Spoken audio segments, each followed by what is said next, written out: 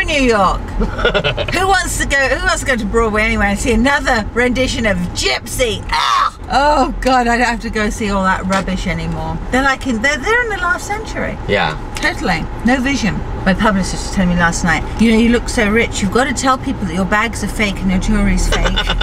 this, Canal Street, $40. I, I love Canal Street. Every time I went, I would load up. Best. I've got a bag guy, Danny. When my friends from the UK come in, they go, who's your bag dealer? I love their like big gaudy ghetto jewelry. You know, like the Oh, yeah, um, I've got one of those awful crosses, like, you know, Mr. T type cross. Yeah. Oh, it's so disgusting. That lawyer who did my prenup, I've never mentioned his name. Paul Welts. I should go on YouTube. Girls, don't go to Paul Welts. Three years you've got to sue for malpractice on a, on a lawyer that hasn't served you right. Yeah. I was married, this all blew up after eight years. So I can't do anything about this guy. They're rogues. they're what? He wrote, I mean, this, this, what, what people aren't getting with this damn prenup is that my husband, even without a divorce, can throw me out, even if I'm his wife, in 30 days. All he's got to say is I'm filing for divorce, whether he's got grounds or not. And Ralph Felder's like, don't mention his name, you don't want enemies. Like, don't want, oh, he's really my friend.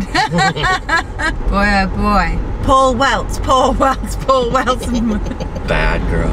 Not bad girl, honest and truthful girl. I like the bad girls. See, that's another thing. These days, that truth has become like people are like horrified at truth. They're like, oh, don't say that. And you're like, but it's the truth. We've got to get truth back into our society. Uh huh. That's what lawyers have taken away truth. hmm We're a fearful society. Yeah. That's why we've got to be warriors. Victory. Victory. ah, everyone's got to start becoming a warrior. Hey, no. Yeah. Victory. Hope I get victory. I get victory either- one way or the other. You've already succeeded, Tricia. Do you think so? hmm You're here with me. Yeah. I just hope I succeed.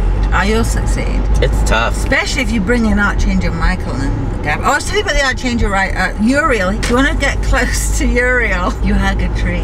Okay.